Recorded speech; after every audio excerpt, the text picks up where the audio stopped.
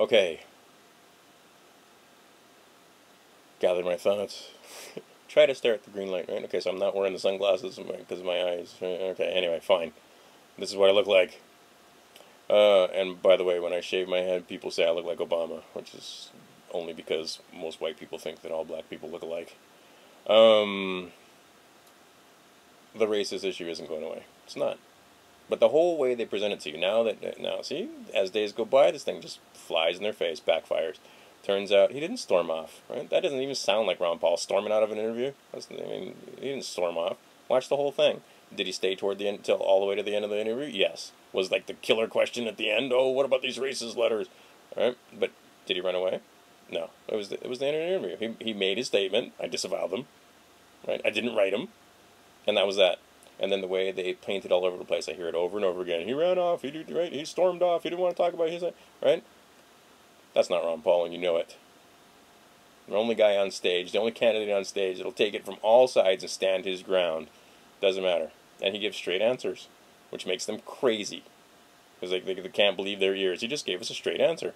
Didn't mealy mouth around it, didn't switch, didn't flip flop, didn't, right? Didn't, right? It's the same story for 30 years. Right? Show me the interviews where he espouses racist views. Show me the votes in Congress where he where he espouses racist views.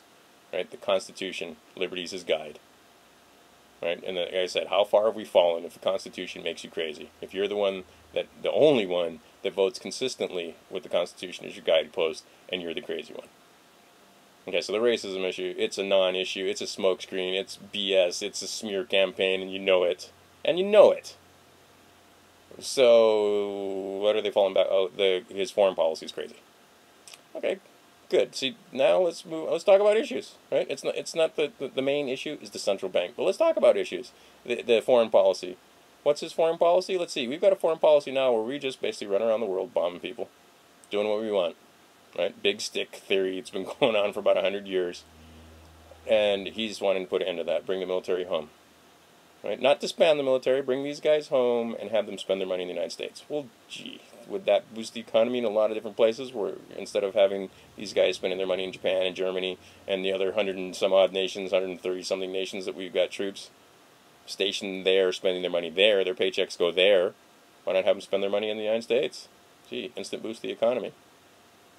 Meantime, uh, I get tired of listening to these guys who are supposedly have degrees in journalism right? These guys are in the media. They should have like we're just laymen. We just use the language, but they should have studied the language and know what the words mean. Interventionalist, isolationist, two different things, right? A non-interventionalist party par- policy. Well, we don't have a non-interventionalist party. We've got one party. We call them Democrats and Republicans, and it's the same party, and you know it. Now, the isolationist claim is is Canada isolationist? Is Germany isolationist? Do they have military running around in you know massive interventions all over the country or all over the world? Right, all over these different countries? No, they don't, and yet they trade, and that's what Ron Paul would like to do. How about we trade free markets instead of using our military in the big stick? Hmm. That's that's crazy talk. That's that's his foreign policy views are are, are insane. No, the foreign policy that says we get we kill one bad guy and kill 23 guys as collateral damage, and we look the other way, right? Collateral damage. What is that? Collateral damage is grandma. Collateral damage is babies and women and farmers and reporters and whoever happens to be standing in the way, right? That's collateral damage. That's some that's some crappy shooting, Tex. And you know it. And it's time to put an end to it. Now, and that's their military's own numbers. It's not us making stuff up. I mean, you can look it up. And then the other thing nobody wants to talk about suicides in the military take more men than the combat does. Right? Suicides.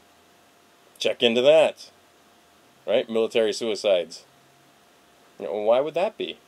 Well, there's a lot of reasons for that, but come on. It's, it's time to stop the madness.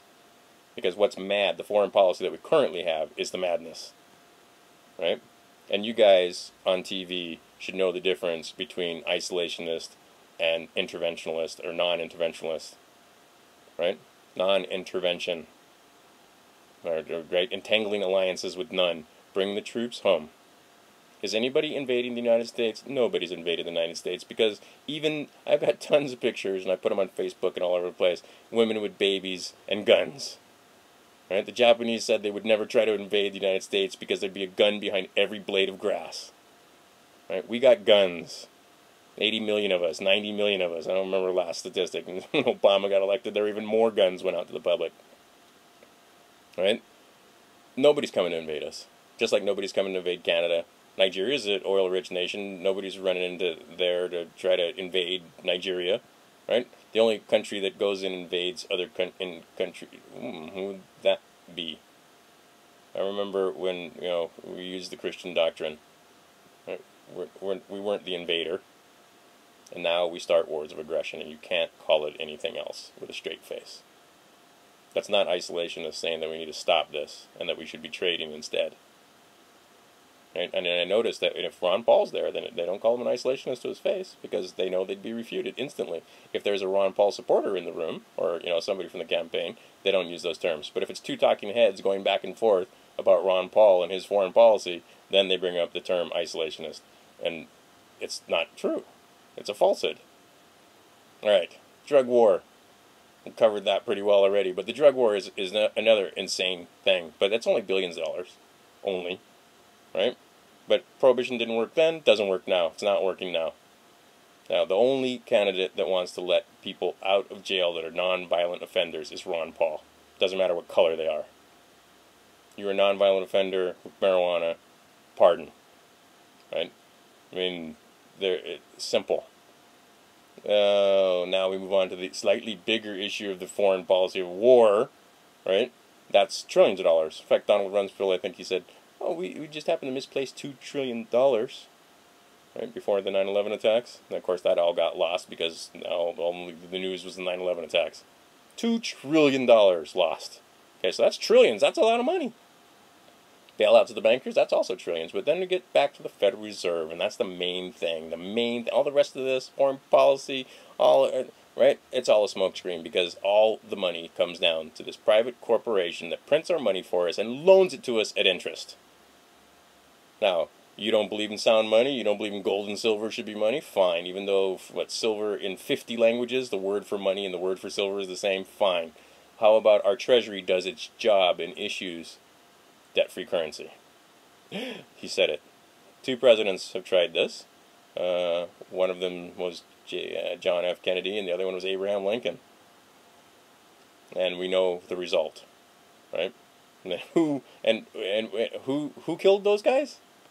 Right? If you believe in single bullet theories and lone gunmen, then okay, then all right. But it's the bankers, the same guys that shot Andrew Jackson, the same guy. I mean, we've been at war with the bankers for centuries in this country, right? The, the, for the 200 years that we've been around, plus years that we've been around, we have been at war with the bankers.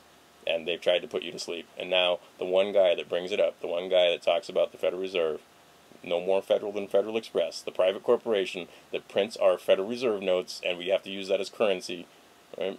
Because of legal tender laws. The one guy, he's the racist, or he's the crazy guy, he's the crackpot. No, what's insanity? What's, what's insanity is that our nation is going down the tubes because we have an unsustainable financial system, right? That sustains these wars and drug wars and, and foreign wars. That's the insanity. And the one guy that wants to put a stop to this and stop the greed and graft, his name's Ron Paul. We got one choice. There's no, there's nobody else that's talking about this. There's nobody else that has a track record like Ron Paul's when it comes to voting with the Constitution. There's nobody else talking about the Federal Reserve. Right? Well, there is now, but that's because of Ron Paul. Simple as that. All right, stick to the issues. You wanna, you wanna argue politics? Let's do it. But that whole racism thing, that's just a smear campaign, and you know it. Right? You want to talk foreign policy? Great. Let's talk foreign policy. You want to talk about the Federal Reserve and money, currency? Fine. What's the best way to do it? Maybe gold and silver isn't the best way to do it. Maybe just debt-free currency. But the name calling and the just you know trying to divide and conquer with the issue of race is ridiculous. Don't fall for it.